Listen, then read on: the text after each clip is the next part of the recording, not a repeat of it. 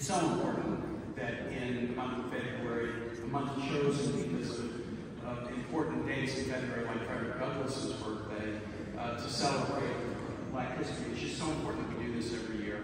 And we, we give thanks for the amazing contributions of African Americans to both American history and to Virginia history.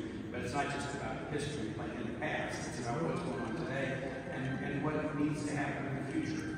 We celebrate accomplishments, but we also always to calibrate about what the next things uh, that we need to do. And there's so much we need to do. I know I'm proud as to Senator Warner and Congressman Scott that uh, during the last couple of years, with some really hard work, a lot of investments, whether it's in infrastructure or prescription drug prices, um, African American poverty rate is down, African American unemployment rate is down, the percentage of African Americans in higher ed is going up. Um, student loan forgiveness has been great for a whole lot of people, but it's been very, very helpful for many in the African American community.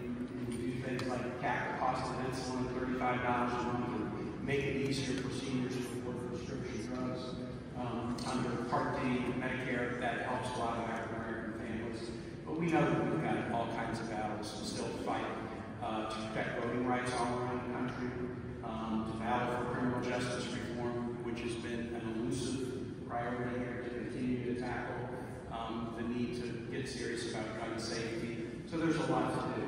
Um, one thing I'll, I'll want to just announce, and I'm going to have Senator Warner talk a little more about it, we just did something good in the Senate yesterday that's on its way to the House, and I want Congressman Scott to know about it. Those of you from the Roanoke area are familiar with the downtown Roanoke. There's federal building, Poff Federal Building, it's named after a former member of Congress and, judge who was a segregationist who fought very, very fiercely to maintain segregation in Virginia and in the South in the 50s and 60s.